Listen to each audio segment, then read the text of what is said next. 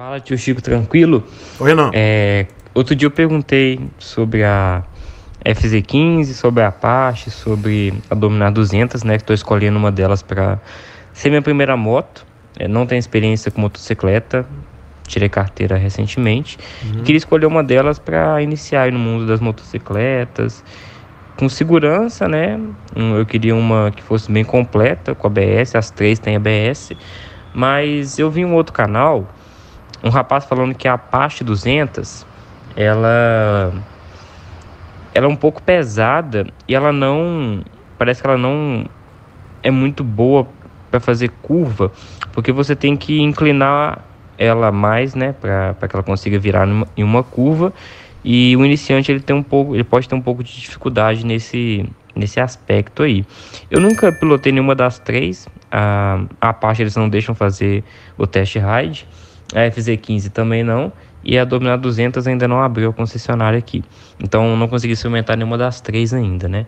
Mas na sua visão, se você já tiver pilotado alguma delas e se você fosse escolher para você a primeira moto, né?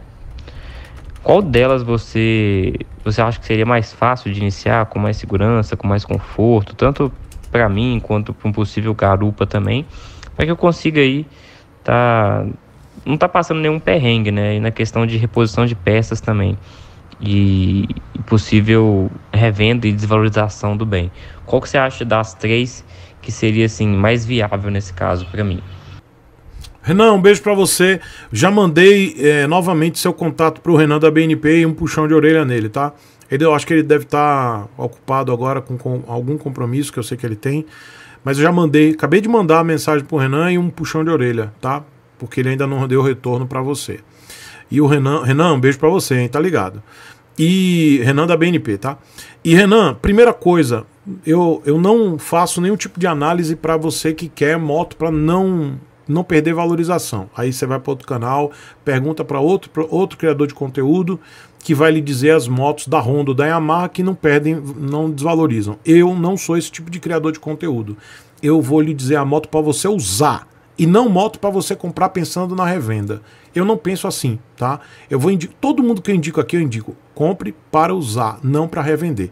A pessoa que, na minha opinião, a pessoa que compra moto pensando em revenda é um idiota ou uma idiota. Eu sou agressivo nas palavras mesmo, porque eu sou assim mesmo.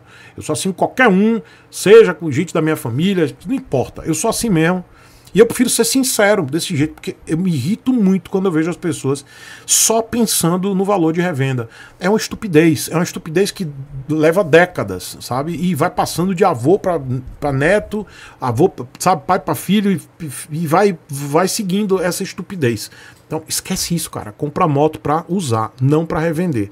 Porque se você comprar moto só para revender, você só vai comprar Honda, Zé. Entendeu? Dito isso, vamos seguir. É, a pessoa que lhe falou que a Apache RTR 200 não dá para fazer curva também e tal, é piloto? Não sei. Será que é piloto profissional? Ele faz curva, ele, ele raspa a saboneteira na curva? Bom, se ele é, então eu, eu posso até acreditar que realmente ela não faz curva. Mas se ele é uma pessoa normal, um civil que vai pilotar na rua, é, eu digo para você, ela faz curva igual a qualquer outra moto. Eu te garanto, Renan, mas garanto, ó, bota até a mãozinha no fogo, a minha patinha eu boto no fogo, para te dizer. Apache RTR, CB300F, FZ25, Dominar 200, todas fazem curva bem legal.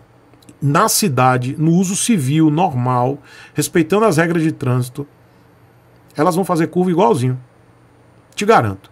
Agora, se seu amigo é um raspador de saboneteira, anda com, com aquela, com aquela, já, sabe, aquela roupa, aquele macacão com cupinha, cupinha atrás, saboneteira, e toda rua que ele faz, ele tenta raspar a saboneteira, aí realmente ele deve entender pra caramba que a moto não faz curva. Mas eu, que rodo, e tô dando dica para todo mundo que é civil mesmo, normal, a moto faz curva igual. Então pode comprar, velho. Se você já sabe dirigir no trânsito, porque eu fico vendo é, é, a galera conversando, né? Essa galera, ah, a moto não faz curva. A moto. Eu fico imaginando a conversa de dois leigos, né? Com todo respeito, Renan, sem nenhum tipo de soberba, mas que eu acho engraçado, eu fico imaginando dois leigos conversando, né? Aí um fala assim, um, que nunca andou de moto e o outro que também semi andou de moto. A moto não faz curva, rapaz, comprei a moto, ela não faz curva. Faz curva. E ele provavelmente ele anda na cidade e faz aquela curva assim, botando a bundinha pro lado, né? Eu não tô falando que é o Renan, não. Tô falando do cara que diz que, que raspa a saboneteira.